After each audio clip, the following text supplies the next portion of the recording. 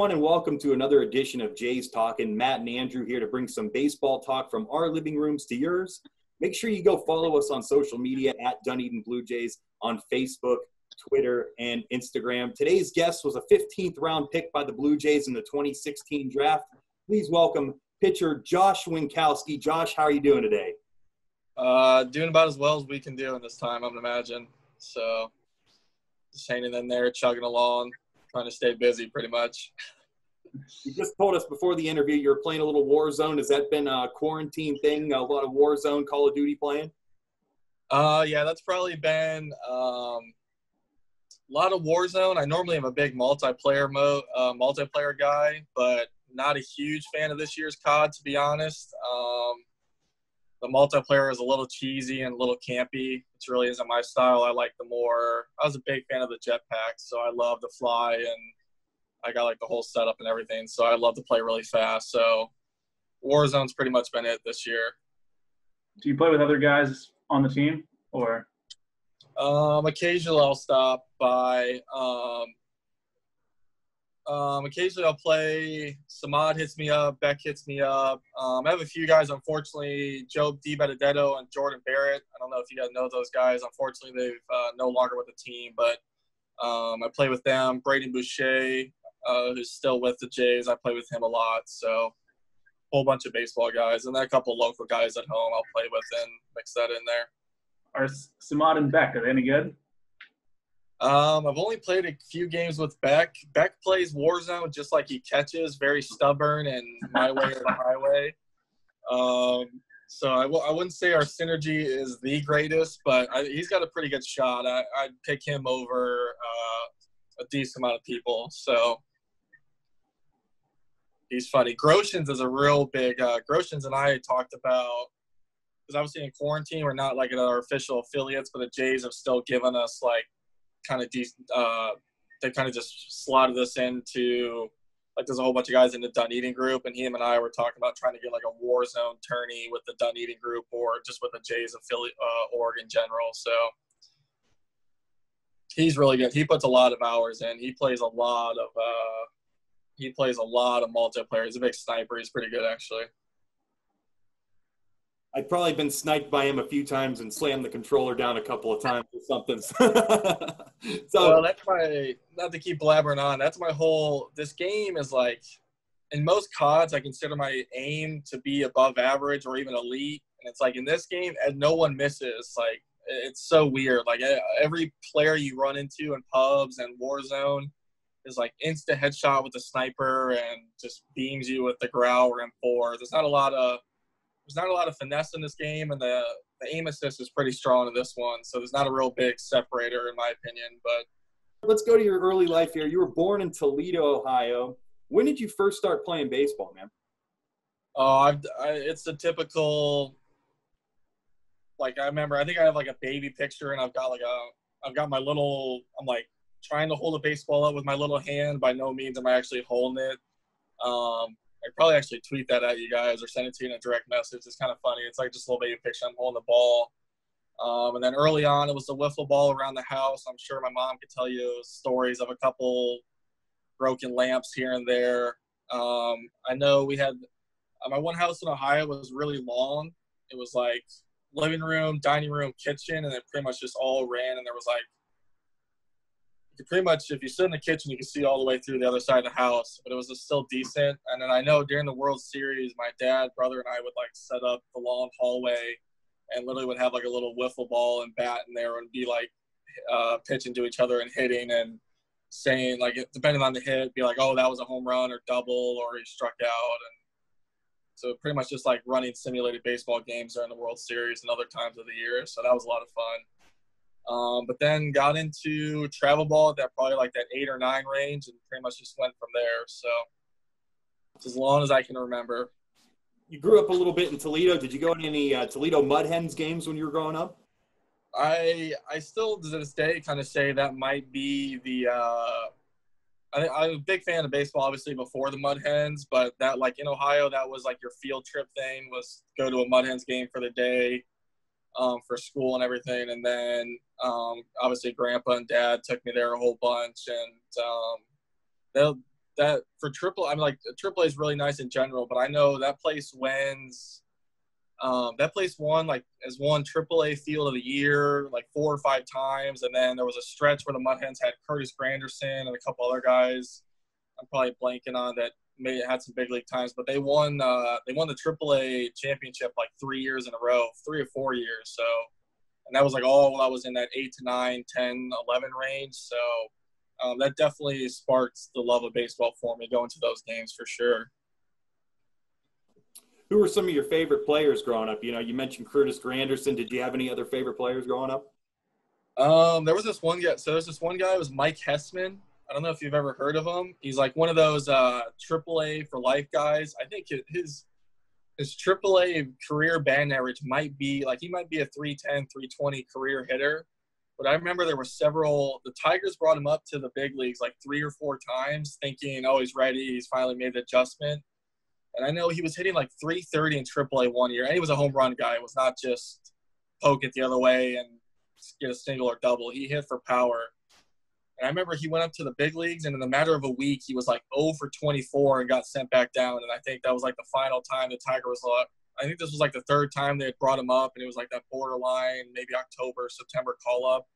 And I think that was like the, the Tigers finally realized this wasn't going to work, and I think he just played another six or seven years in uh, AAA. And um, then like the last game was the last game of his career. He ended up playing like all nine positions. It was pretty cool. He uh, there's a lot. If you ask a lot of people in Toledo, they'll like they'll recognize the name Mike Hessman. So he's a pretty cool cool guy. Then you moved to uh, Florida for high school. Um, you had your sophomore year. You went five and two with a 1.36 ERA in two complete games.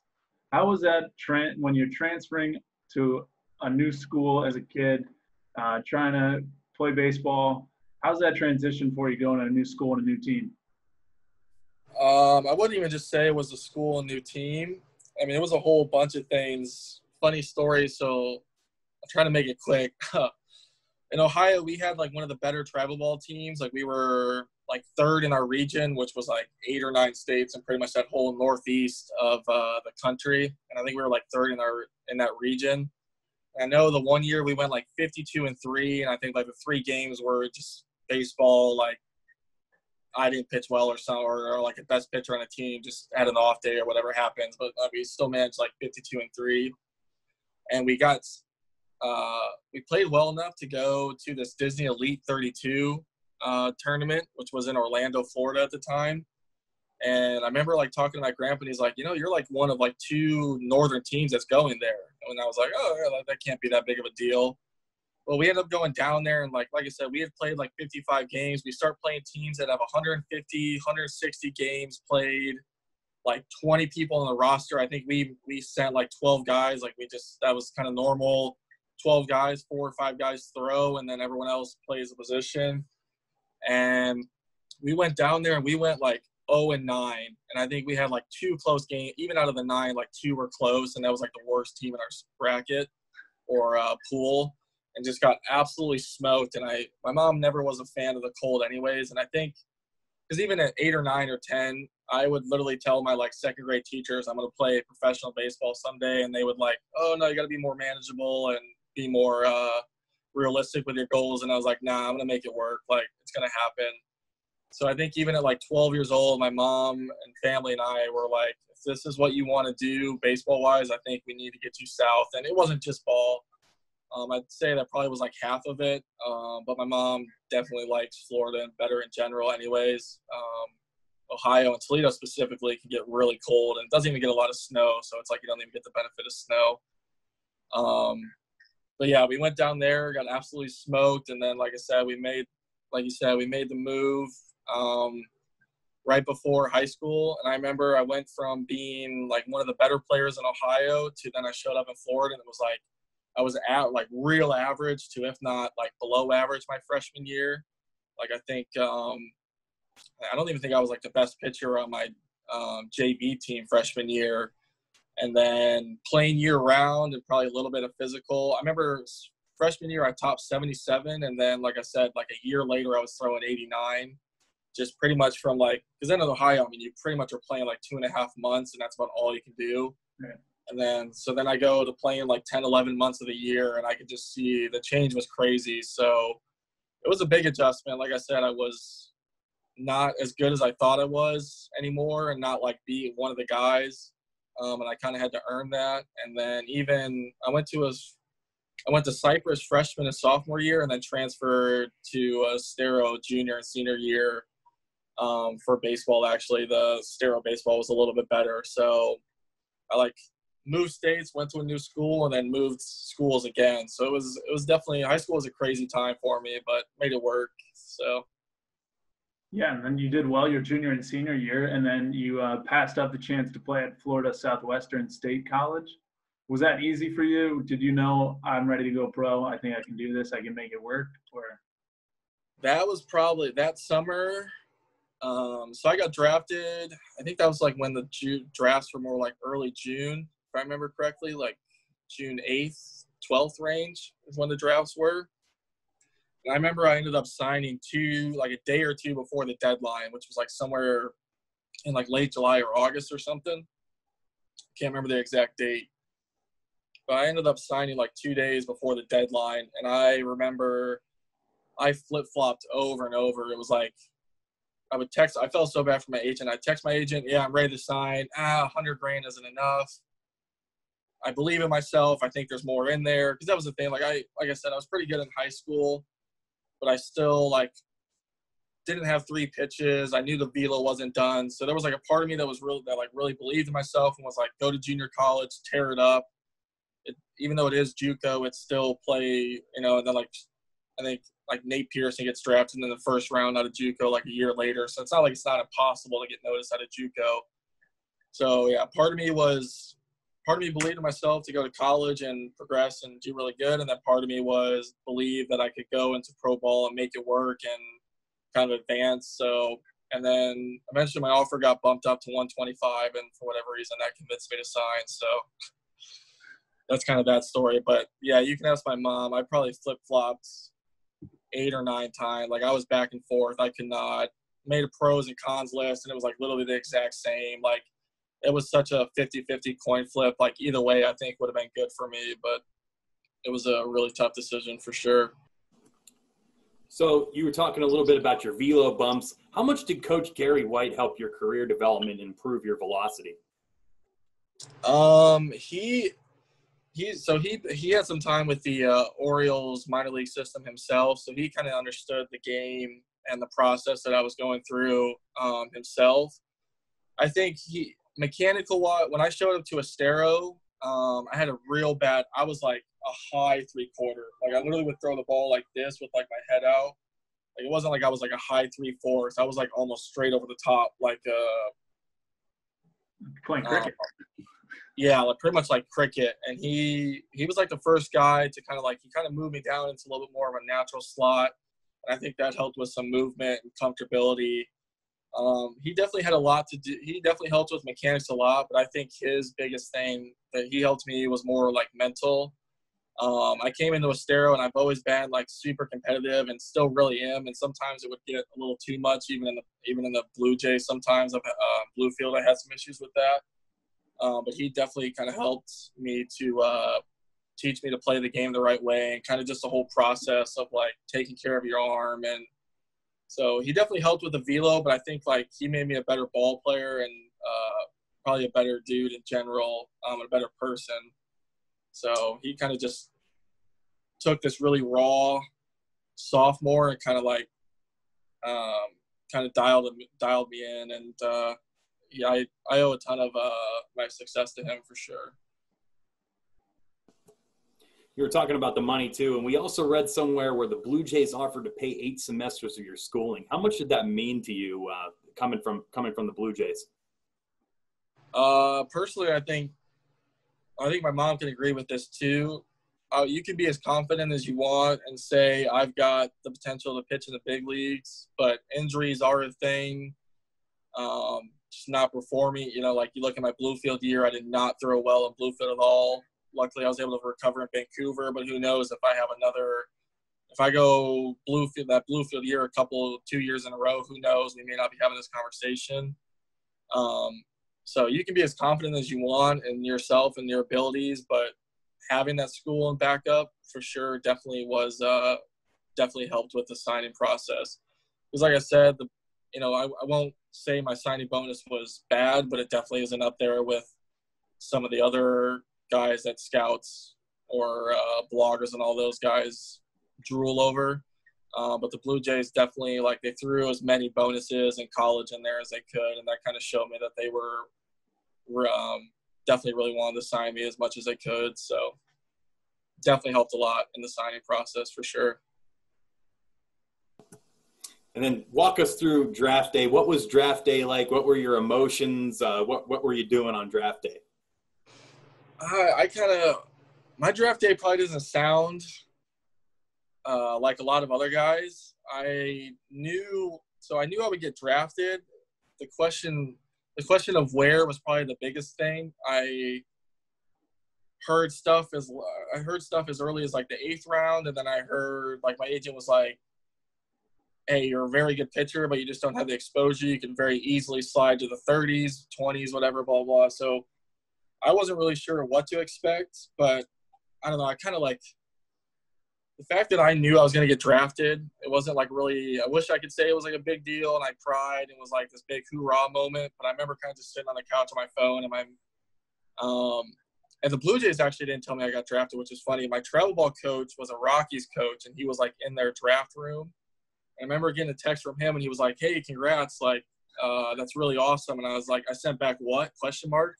He's like, you got drafted by the Jays. And then luckily, like finally, like five minutes later, I got a text from uh, Matt O'Brien, my area scout. Um, so it was kind of a weird process. I wasn't really like I knew I was going to get drafted. So when I finally did, I can't say I was like appalled. I kind of just like told my mom, I was like, "Oh yeah, it finally happened. Uh, I got drafted," and she was probably more excited than I was, to be honest. So, and then like I said, I didn't even hear that I got drafted from the Jays, which was the funniest thing. So, kind of a weird process, but still a great, like, still a day I'll never forget. Obviously, um, and uh, yeah, it's still really awesome. How was that transition for you, where you're you're going from high school to now you're in a clubhouse with big leaguers and other guys that are trying to com- compete? It's a job now. It's not school. It's not just part of school. How much? How was that transition for you? Um, like I said, I mean, you can hear about it. And like I said, my high school coach prepared me as best as he could. So there wasn't a ton of things that I was shocked, but still living it, living it day in and day out um, doesn't replace hearing what it's like. So there was definitely a lot of adjustments. Um, I wouldn't say it was like too bad. Like you said, probably the biggest thing was instead of going to school and going to practice and being with your buddies and um, the game, the game being a game instead of now it's like it's a job. Um, and like pitching bad has repercussions or job stability repercussions, especially. Um, you know, you never want to throw bad in high school, but it's like if you throw bad on Friday night, the Friday night game, like just go sleep over at your buddy's house on Saturday and you'll forget about it. Where now it's like, now it's like, crap, my ERA is over four. Like, hope Gil doesn't, hope Gil's not uh, putting me on the chopping block, etc. so there's definitely a lot of transition. Um, but I think everyone's kind of in that same boat. I think like the guys in general, we kind of all want to make it work. I don't think anybody wants to be at each other's necks or not get along. So I think everyone like it's probably I really haven't run into anyone in four years being with the Jays that anyone is like a major problem. Um, everyone wants to make it work and get along and play the best that they can because if the hitters play good, it helps the pitchers, and if the pitchers play good, it helps the hitters. So, like your performance matters to you the most, but everyone playing well can build and help the team. So you talked about your you had some struggles in Bluefield, but you really picked it up in uh, in Vancouver. You won the Northwest League Pitcher of the Year in 2018. What was working for you that season? Um, that was a really like I said, that Bluefield year was really interesting because then uh, obviously you go to extended before Bluefield, and I remember in like two and a half months, I legitimately, I know it's, it's extended and it's not as serious, so I take it for what it is. It's not in season. But in like two and a half months, I legitimately gave up like three runs. Like in two and a half months, like every outing, scrimmage against another team was three innings, no runs, four innings, no runs, five innings, no runs, a lot of punchies. And that's like when my I was just getting a ton of ground balls. I like my sinker at that point was like really good. It was like literally it was like ground ball, ground ball, strikeout. Like I remember I had one extended game. My center fielder in the fifth inning had like hadn't had to move yet. Like I don't think a ball had gotten to the outfield in like four innings or so. Like it was like at that rate. And then I go to Bluefield and it was just like everything fell apart. And it was like not sure if it was more mental or physical, but I kind of got done with that season and said like, hey, like you better get it going. Like you can't can't do that too much more, too many more years. Um, and I kind of just told myself, like, I don't ever want to feel like that again because that was like a terrible, it was like bad outing, bad outing, bad outing. Like that summer mentally was like not fun. So I kind of just went to Vancouver and told myself like it's time to go and don't let yourself, you know what you did wrong, and uh, made a lot of adjustments. And coach, uh, or pitching coach Cy helped with that a ton. I owe him a ton of uh, thanks because um, even in uh, he was with me in Vancouver and then even uh, Dunedin last year, the little bit that I was there. Um, and in both stints, he's helped me out a ton. He's another one of those guys where he's there if I need physical grip, mechanical changes, but I think like he understands my mental aspect of the game more than most coaches do, and he helps me out there a ton. So I think it was like a really good combination of things. Kind of got in the groove. Head coach Cy to keep me there, um, and kind of just didn't let my foot off the gas, and ended up having a really good year. So. Cy has such a great camaraderie with you guys. Uh, you know, we've we've we've talked to Justin Dillon, we've talked to a couple other pitchers, and everybody praises Cy and, and, and his work ethic and his teaching abilities, and just the guy's uh, the guy's amazing. Yeah, I've even I've seen the uh, little snippets of uh, these kind of talks on Twitter from other guys, like you said, the Dillon and Murray talks, um, and those guys are not wrong when they talk about Cy. He he is a coach, but he's probably he's probably one of those coaches. He's probably one of the easier coaches to forget that he is a coach. Um, like you get talking to him, and it's like you almost feel like you're talking to your uncle or something. And then it's like the game starts, and you see him walk out and the clipboard and everything. It's like, oh crap, this is my pitching coach. Like, um, which is a good thing. Um, definitely not a bad thing. But yeah, he his under he's got he does a really good job at like I think he does really good at player to player. He kind of doesn't have this like one mold that fits everyone. Like he is really good at identifying your strengths and weaknesses, and like he wants to make your strengths super super good, big league all star level, and he just kind of want and he wants to make your uh, weaknesses like major league average. So he does a really good job at like player to player adjusting and um, like even just like I'm sure the talks he has with me are probably different than talks he has with other guys because I think he like knows what makes me go. I can say that like if I have a bad game, he knows what to say to kind of keep me going and looking forward to the next start. And I'm sure I know he can do that with other guys that probably uh, don't tick the same way I do. And then even in Vancouver, he was a big like go with the eyesight guy and his feel, and obviously it's like a crazy experience of baseball.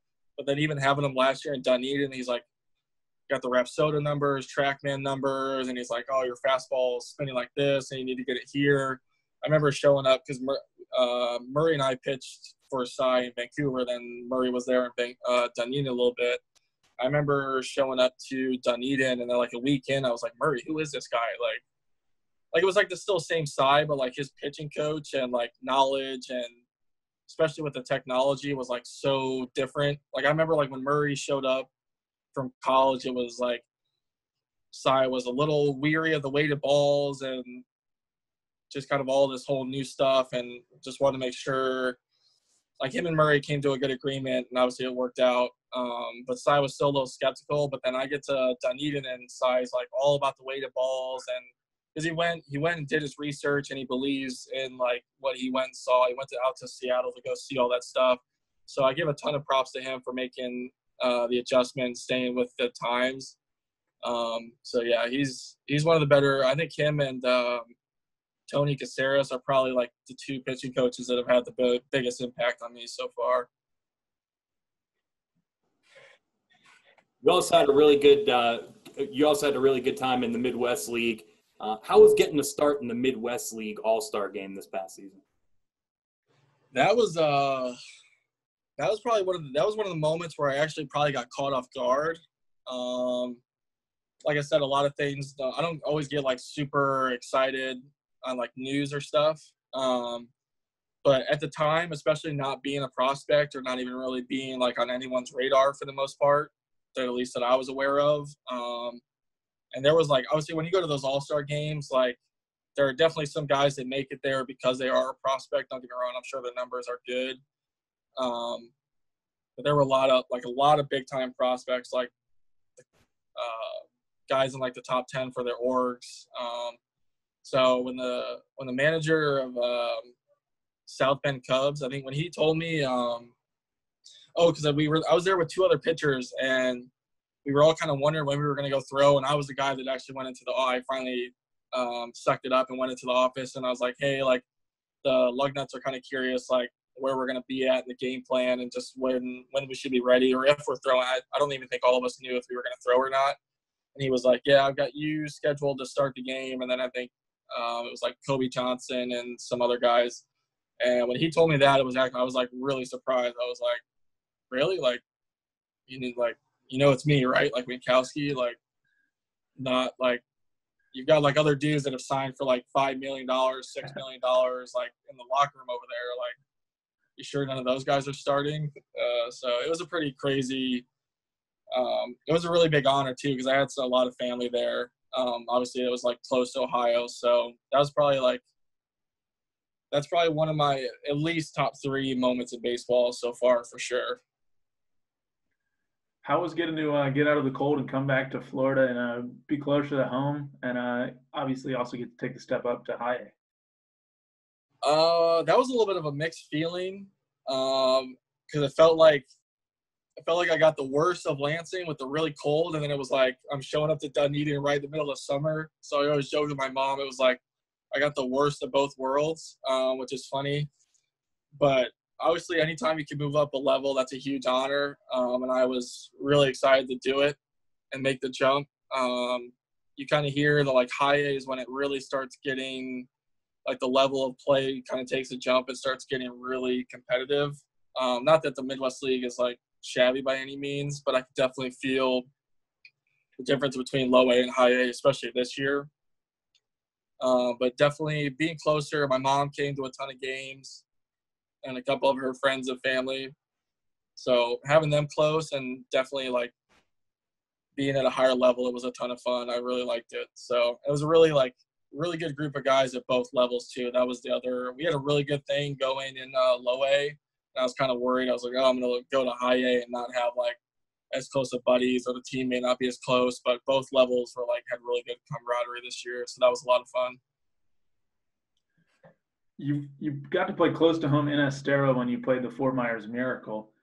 Other than the uh, C.J. Cron uh, home run in front of your friends and family, uh, how was that experience? And then, what is that experience like when a major league rehabber steps into the box? Uh, when you're on the mound, are you thinking any differently, or are you just attacking each guy as if they're who they are? Um, so a couple things on that point. Unfortunately, when I threw that game at home, I hadn't thrown in 12 days. I was starting to run into my innings limit. So it had literally it had been like two weeks since I had thrown, which kind of threw me off my groove, unfortunately. Uh, which sucks. It had to be the one game. It was like in my hometown, um, and then like against a big league rehabber. Uh, but still made the best of it.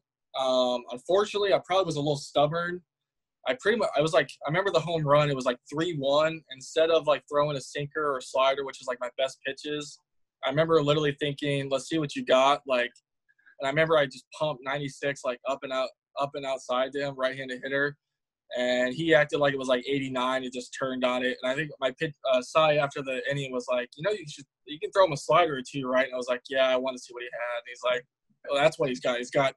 Opposite easy power on you. That's what he's got. And it was like, yeah, I know. Like, it's a little bit of a learning lesson, but hey, you want to play in the big league someday, you got to square him up a little bit sometimes. So, see what he's got. Yeah, so you talked about a little bit. You went from 68 innings pitched in last the year before, and then this past season you got up to 127. What? How do you deal with that uptick in innings? Uh, how tough is that? Um, personally, I that's kind of a bonus for me. I think kind of mentioning that 12 day. I've always been a guy. The more I throw, the more comfortable I get.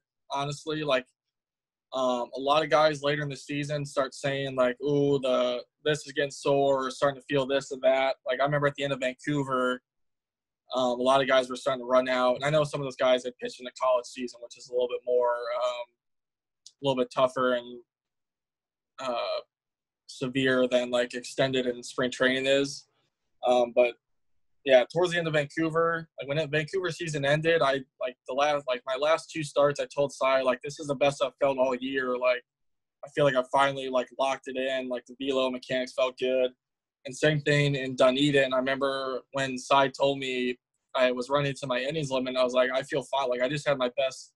I remember right before my break for the inning uh, inning limit, I just had my best velocity game of the year. Like I had sat 95 and a half and like was up to 97 which was one of my better um, velocity games. And I was like, I'm starting to really feel good and starting to dial everything in. He's like, yeah, it's org mandated, not much you can do, which I understand. Like, I get it. But so the innings limit thing for me, honestly, I didn't really feel like it was that big of a deal. Like I said, the more some guys later in the season want to start lessening bullpens and stuff, I'm almost, I like in Vancouver, I was throwing two, we were on a six day rotation, I will say but I was throwing two bullpens in between outings. So I've kind of always been a guy, the more I throw, the better.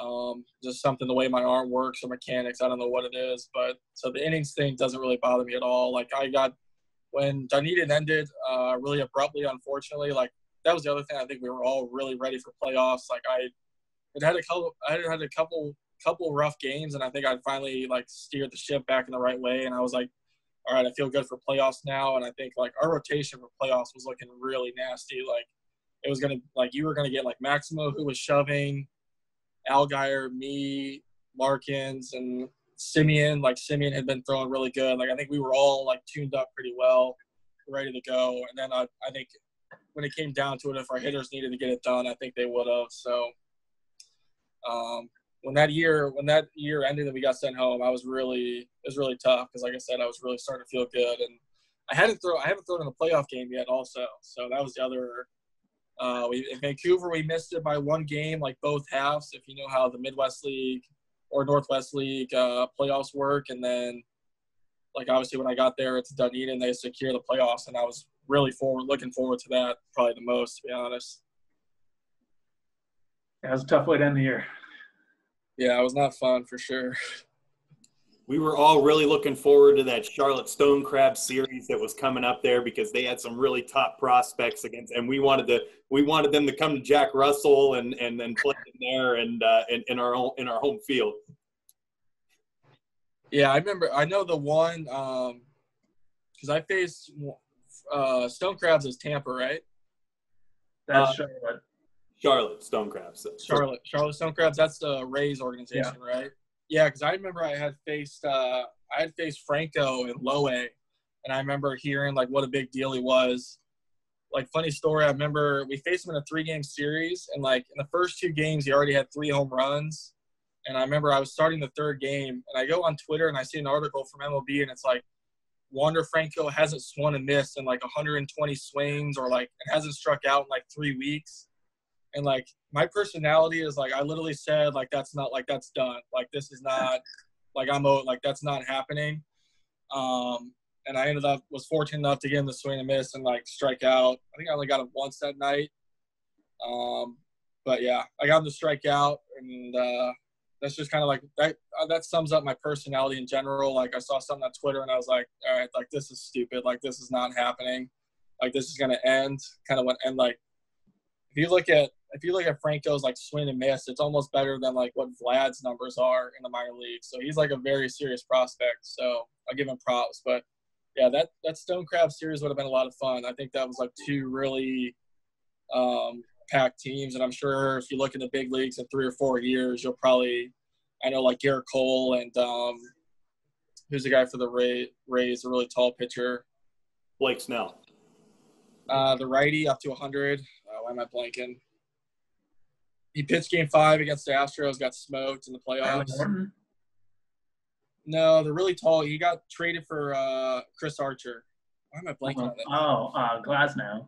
Yeah, Glasnow. It's like Glasnow and Cole were on the same Pirates team. I'm sure in the big leagues they'll be doing the same thing with like that Dunedin and Stone Crabs team. Like, hey, these like, I'm sure if like the Blue Jays and Rays face each other, you could probably have like seven, eight guys on the screen that all were in high A in uh, 2019. So.